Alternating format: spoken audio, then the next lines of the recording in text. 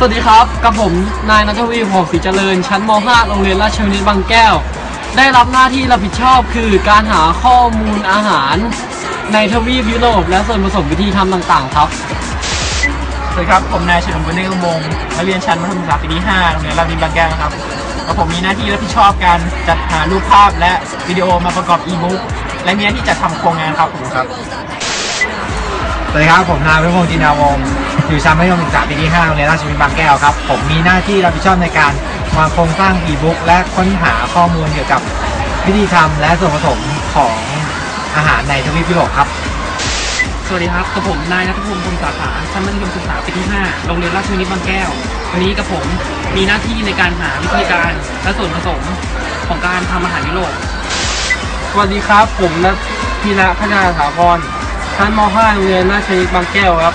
หน้าที่ผมได้รับมอบหมายคือหาวิดีโอและรูปภาพมาประกอบอีบุ๊กครับ และจัดทำโครงงานครับ